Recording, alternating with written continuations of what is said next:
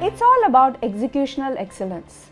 I've worked hard to weave the fabric of efficiency into my daily activities by prioritizing tasks, streamlining processes, and maintaining the eye for details. I believe efficiency is not only about completing tasks, it is the commitment that will help in consistently delivering tangible results. Finally, what matters is execute, execute, execute.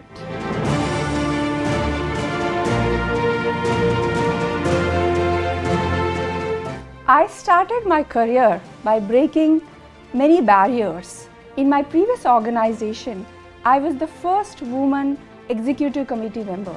I started my journey by being the first woman in procurement as a commodity manager. What helped me to achieve big in my procurement professional career is my passion, perseverance, and resilience.